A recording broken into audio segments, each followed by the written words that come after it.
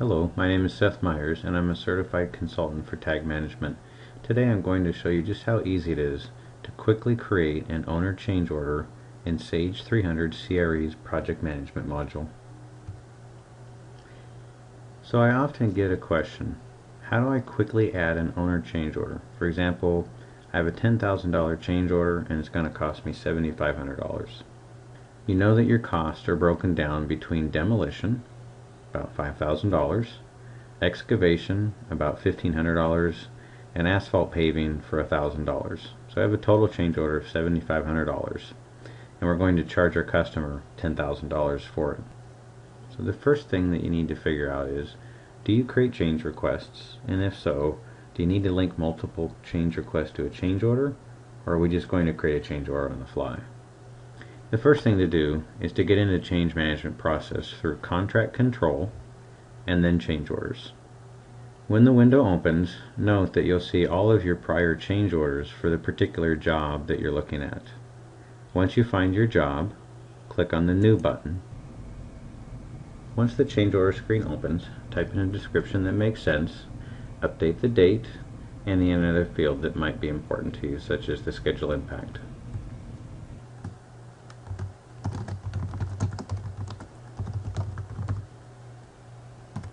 As you tab through the fields, you can change the values. For example, in this case, I want to change my accounting date to be the end of this month. I may say that this particular change order is going to impact the job completion by four days. I know that this change order is approved, so I'm going to go ahead and leave the status as approved. And I also know that I'm going to bill my customer for this, so I'll keep the revised contract amount checkbox checked. You can select existing change requests, but we're going to expedite this change order process by clicking on the new change request button. We will enter a short description for later reference on our change request log and a short scope just explaining what the work is. In this case, we're going to modify our driveway.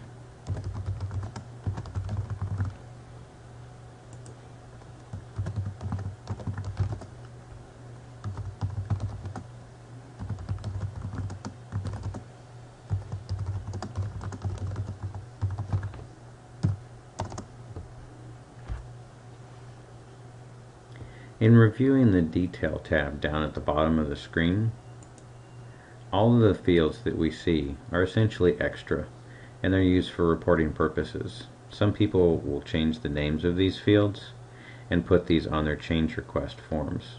For us today, we're just going to go ahead and skip this. The next tab is your price cost estimate tab.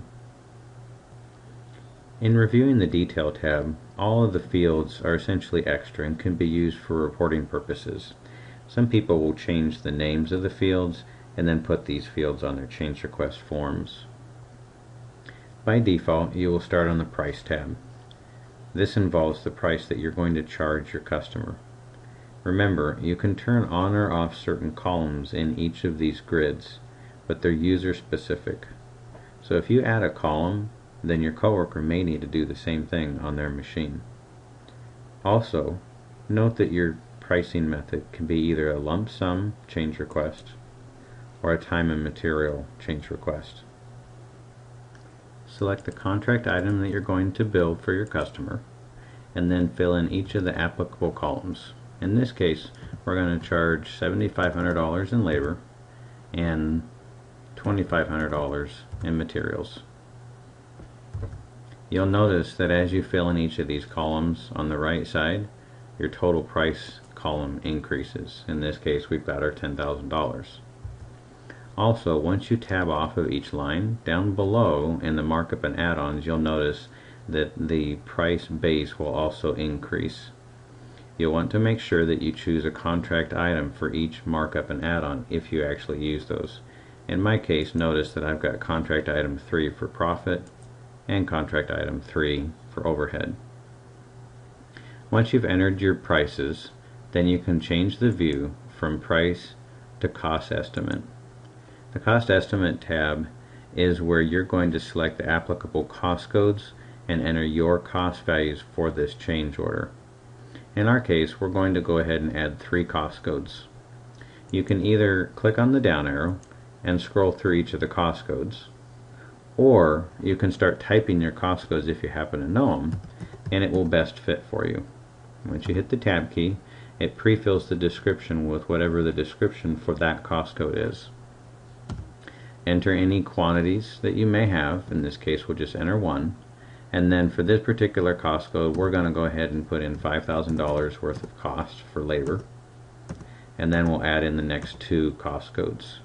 So we're going to go ahead and add in excavation, one unit, $1,500. And finally, we're going to go ahead and add in asphalt for $1,000. You'll notice that as I'm tabbing, my cost base is also increasing line by line.